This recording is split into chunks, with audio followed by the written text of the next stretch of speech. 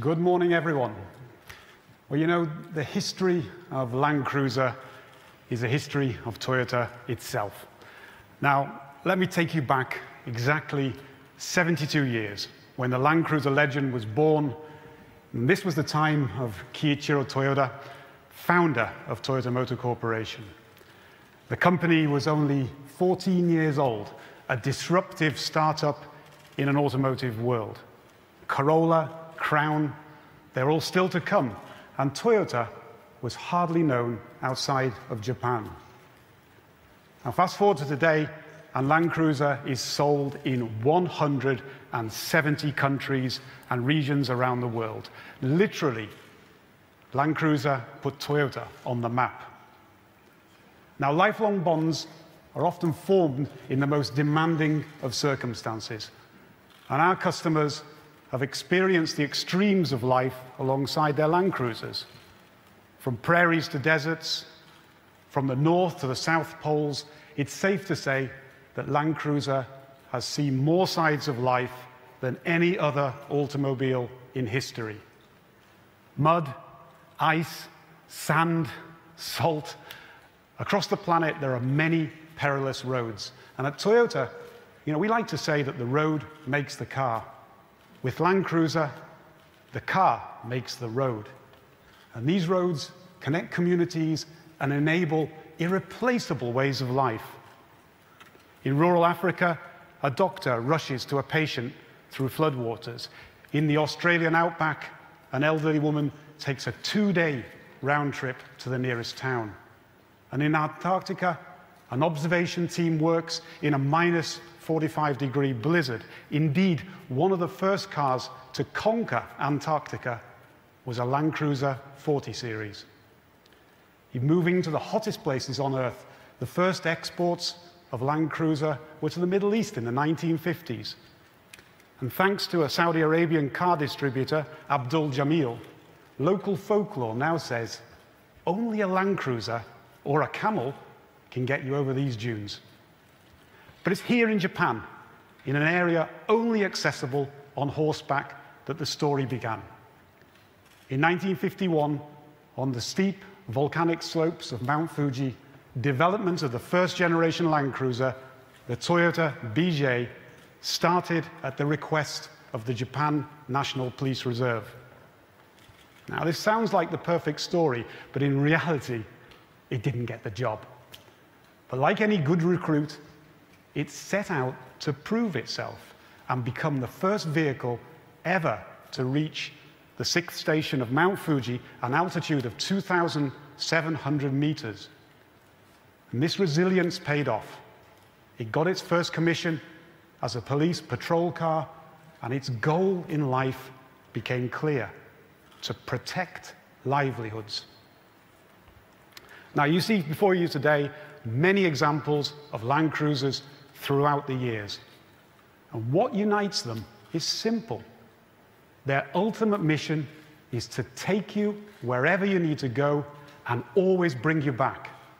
If a Land Cruiser breaks down, it's not just a matter of inconvenience, it can be a threat to life itself. The value of Land Cruiser comes down to just one word trust. The trust to put my life in your hands. Now, the Toyota BJ that laid down that foundation of trust has a direct descendant in the 70 series. And this may be a workhorse, but it's become an icon, the legend itself. You know, and over the years, we've received so many comments from fans on social media pleading with us not to let it go. Don't change a thing, they said. Well, we listened. And today, I'm pleased to reveal that we committed to updating the 70 to keep that legend alive.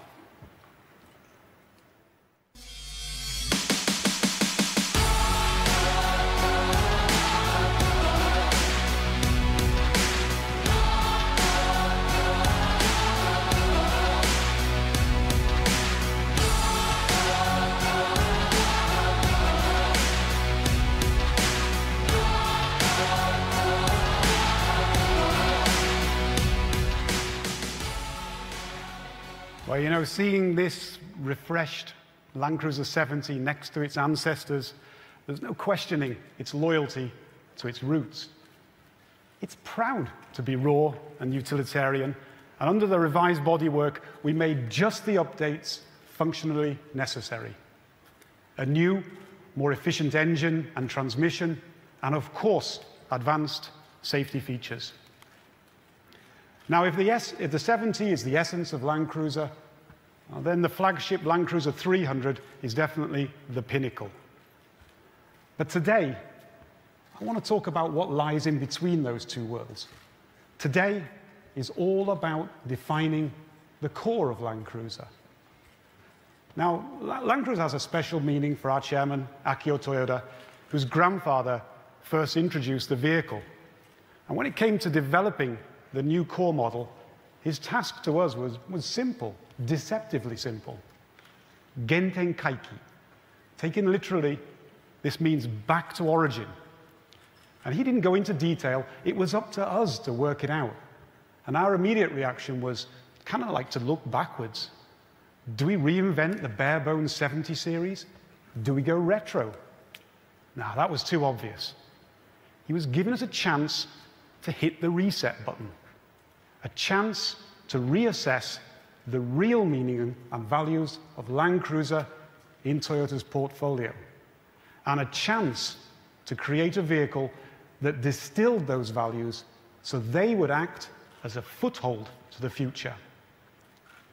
We embrace that chance to divine the unwavering core beliefs of Land Cruiser and put them in a form that would transcend trends, a product in which all our customers could place their unconditional trust.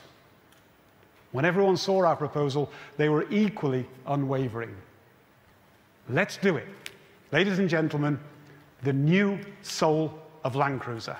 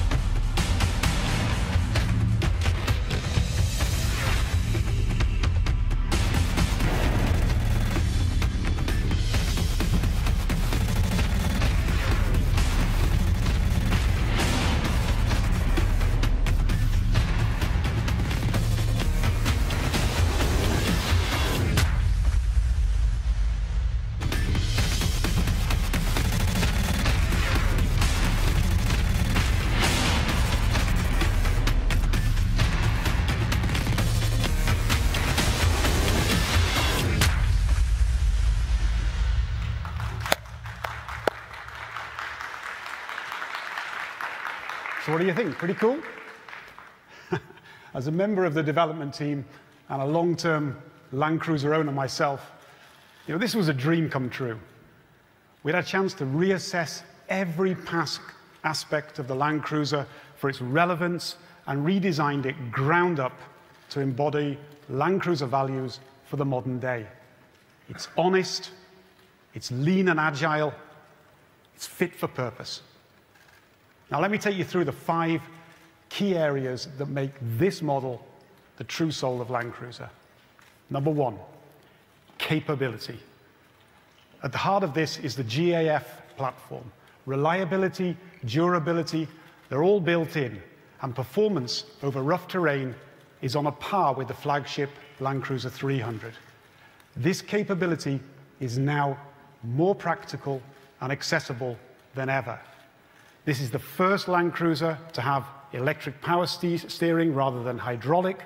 This improves ease and comfort on-road and reduces kickback off-road. Number two, choice. The powertrain line lineup reflects diverse regional requirements. For the first time, this includes a hybrid powertrain in a Land Cruiser.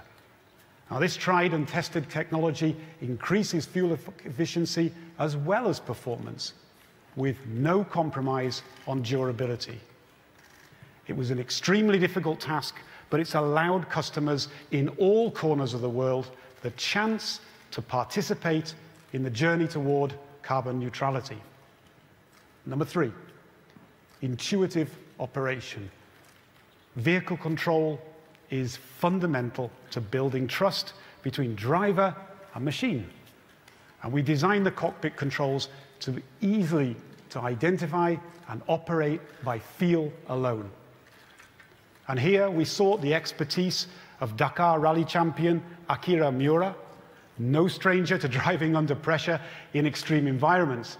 And he told us that it's crucial that the interfaces support the driver with maximum accuracy and minimum effort, whatever the conditions. And that brings me to point number four. Beauty is function. Every aspect of the design is based on the premise that beauty comes from functionality. Proportions are calculated for maneuverability in extreme environments.